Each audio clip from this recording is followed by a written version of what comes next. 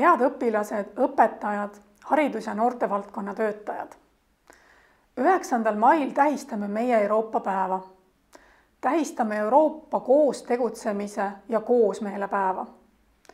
luuletaja Gustav Suitsu väljend Olgem eestlased, aga saagem ka eurooplasteks on lause, mida ilmselt teatakse rohkem kui mõnda tema luuletust ning mis avaldati esmakordselt Noor Eesti almanahhis juba tuhande üheksasaja viiendal aastal nagu näha, paelus mõte Euroopast eestlasi juba siis.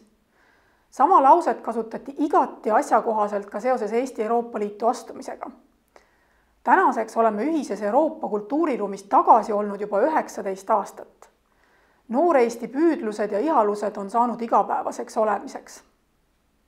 võtame täna selle hetke märkamaks, mis see eurooplaseks olemine tähendab. Euroopa päev on selleks just õige päev.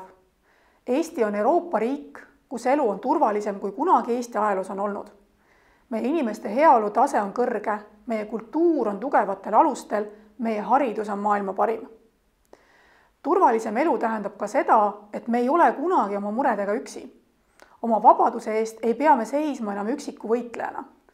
ka suuremate ülesannete koormust saab ühiselt kergemini välja pidada, olgu selleks siis keskkonnahoid, tervemate eluviiside harjutamine või isikupärase pärandkultuuri säilitamine.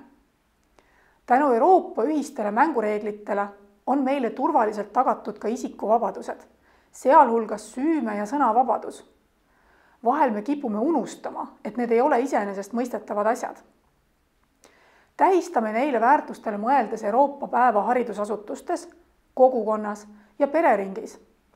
heiskame Eesti kodudes lipud ning väisame jõudumööda üle Eesti aset leidvaid erinevaid sündmusi. muuseas, Euroopa päeva suurkontsert toimub tänu, tänavu Vabaduse väljakul ning seal esinevad Eurovisiooni laulu, lauluvõistlusel Ukrainat esindanud Kaluš orkestra, samuti Tanel Padar ja Stefan. Rõõmsat osasaamist!